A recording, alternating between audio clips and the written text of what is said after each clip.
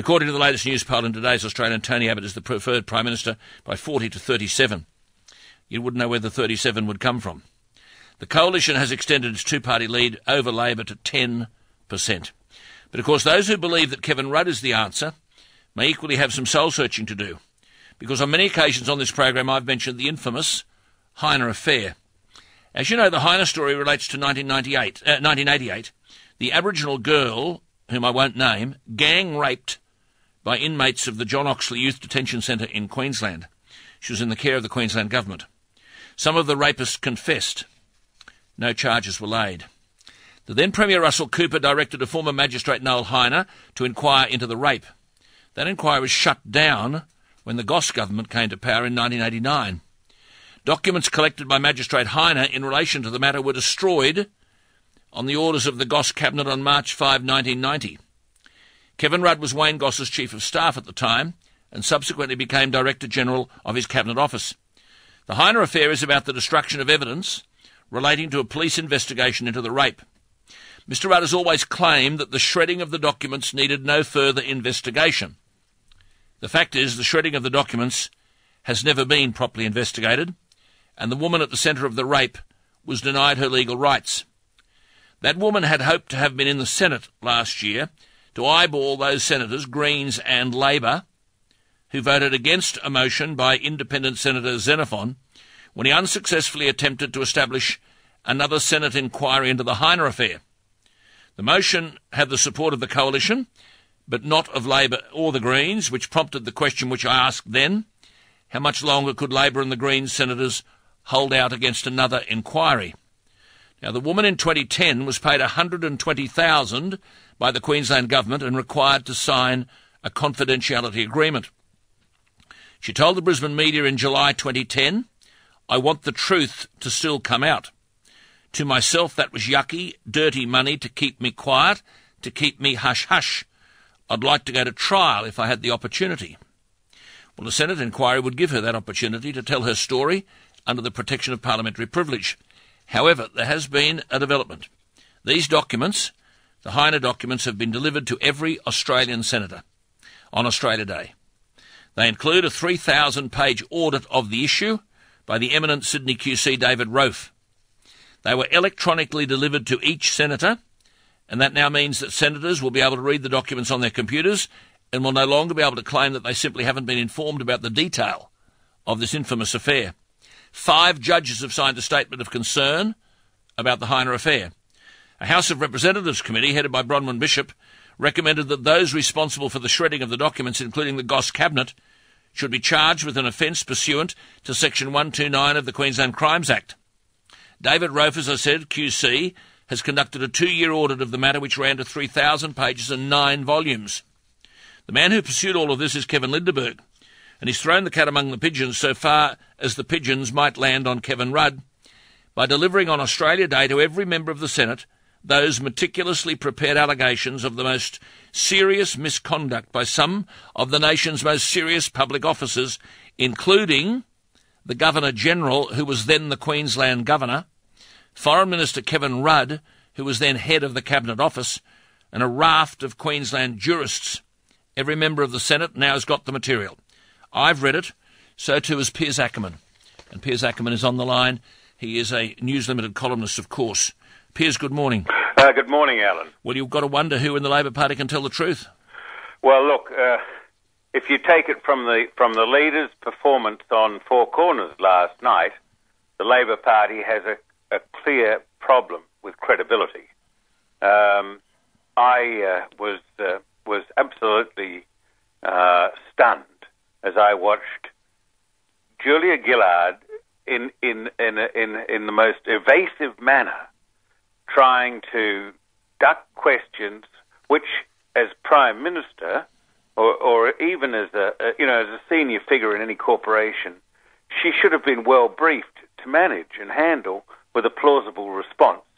But she she looked like uh, looked like a, a, rabbit caught in the spotlight. And uh, as I think you said earlier on your program this morning, um, as she fumbled for a response, it clearly showed that uh, she had no plausible uh, re- reply to the two to the two questions, which really boil down to what did she know about the coup and when did she know it? Mm. Absolutely. Yes. Well, now let's take this step forward because she's gone. There's no way in the world she'll survive, and Right. the move today will be uh, they'll move even further towards Kevin Rudd. So just let's look at that because now the Governor General, who was then the Queensland Governor, Yes. the Foreign Minister Rudd, who was head of the Cabinet Office, Yes. and of course the Labor Party collectively, who have tried to keep this Heiner affair out of the public gaze, to say nothing of the Greens. Now every senator now has got the 3,000 page audit. Well, this this is this is a, an extraordinary move. Um, the documents have been very carefully guarded, uh, and but I must say that I have read them. Um, they were sent to the to the senators, and I have seen uh, responses to sh- to indicate that uh, uh, government and and uh, opposition senators have received them. Now, this I believe f- puts them in the public domain, and it's only a matter of time before members of the public can see for themselves exactly the extent of this extraordinary cover-up. Correct. And it is, as you as you're aware, it is already being taught in Queensland schools as part of their curricu- curriculum, and as as well as in various international pr- uh, study programs relating to criminal cover-ups. That's correct. Let me just raise this point with you. Yes. When uh, Quentin Bryce was the governor of Queensland, Yes. uh, Kevin Lindeberg and others wrote to her about, quote, the Heiner affair, Yes. explaining a whole heap of detail. Forget all of that and the detail of those letters. Yes. The then governor sought a report on the Heiner affair from Premier Beattie. Yes. My understanding is she received the report. Yes. It took 18 months to prepare. Correct. But neither she nor Mr. Beattie ever made it public. That Let's- is correct. Okay, let's go back then a further step. When the allegations were made against the former Governor General Peter Hollingworth that he had failed to act, and virtually by failing to act, now I'm not agreeing with this, but this was the allegation against Yes. Hollingworth, he'd failed to act, and therefore by failing to act had participated in a cover up when there were allegations of sexual abuse made against church officers while he was the Anglican Archbishop of Brisbane, Yes. and that led to Mr. Hollingworth's resignation. The opposition leader Simon Crean said at the time that you cannot have people in authority who have covered up for child sex abuse and failed to act. Yet here is the then Governor of Queensland and several other senior Queensland politicians and judicial officers virtually echoing the point made by Mr. Crean. They were made aware of the allegations against this 14 year old girl and failed to act. Now, in that simple term, where do they stand?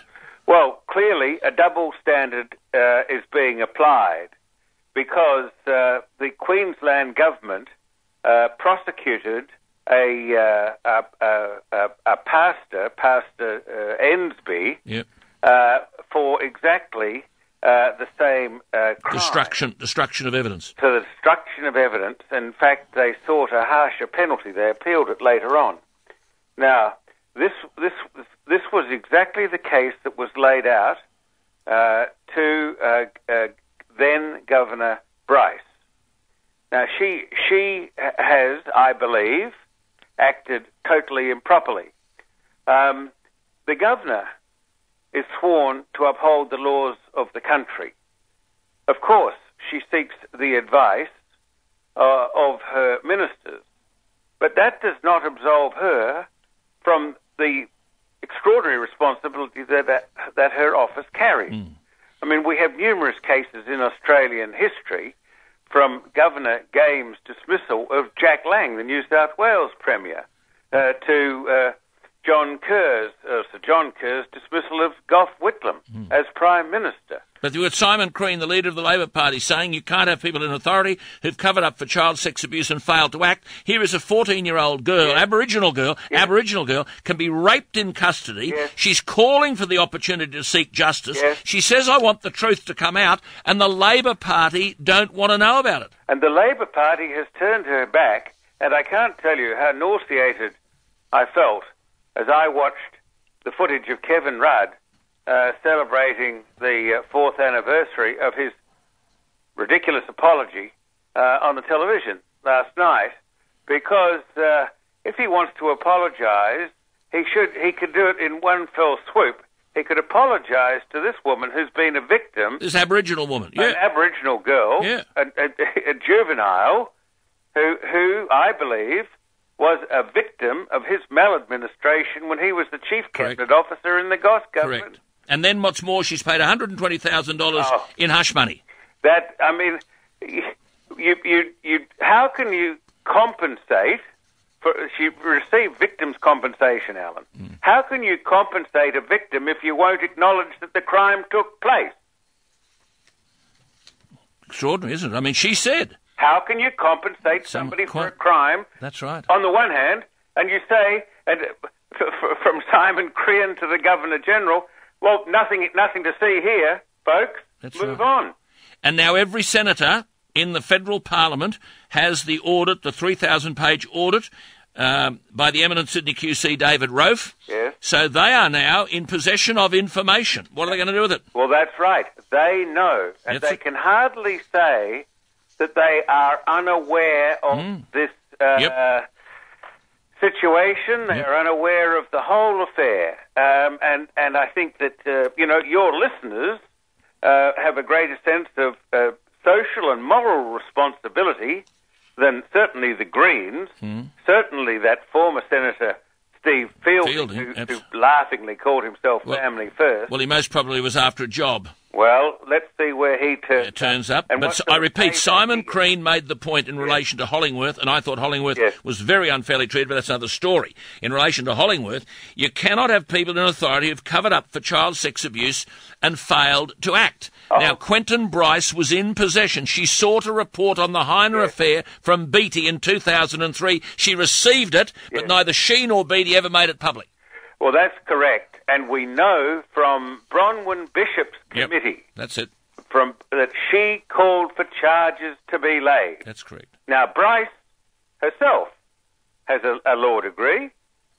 She she must know uh, what uh, uh, dangerous waters that she's treading in, and she can't. I don't believe at this point, or even as uh, when she was governor of Queensland, say that uh, she has to accept the advice of her ministers. As we know that there is a precedent that if you're a, a sworn sworn to uphold the law of the country, uh, it does it doesn't matter what advice you receive. It's on your individual responsibility. An attempt was made to have this matter debated in the Senate last year, Hmm. stopped by the Labor Party and the Greens, stopped by Family First Senator Fielding, Yes. voted to stop the matter being debated, Yes, trying to win some overseas posting from the Labor government when he knew he was going to lose his Senate spot, I suppose. uh, well, it's, uh, we uh, we will see where he. We, Well, the clerk of the Senate, Dr. Rosemary Laing, in Advice 47 wrote last year, quote, having seen the material, Yes. there is no doubt the matter raised is very serious. Well, I think that that is an extraordinary uh, that's an extraordinary admission on on a very senior parliamentary officer's part because she has read the material. She judged it to be serious, and she issued what is a public advice. Now, the public, if they look to uh, the clerk's advices, will see that note, but they won't know what it refers to because the material has been kept secret by this government, which is doing everything it can to cover it, to maintain the cover up. Absolutely. Isn't that extraordinary, Alan? Well, it is extraordinary, but we've talked about it before, and we'll talk about it again. And we saw, and so there was last night, Julia Gillard, another cover up, this time in relation to what she knew and how much she knew about the assassination of a Prime Minister. It's a metaphor of the government, of course, but it now has become infinitely more serious. Every senator now has had electronically delivered to him or her the 3,000 page document. So there's no excuse now for pleading ignorance. I don't know what it's about. No. They're in possession of it, as is as was Quentin Bryce. Simon Crean made the point. You can't have people in authority, and that includes senators, who've covered up for child sex abuse and failed to act.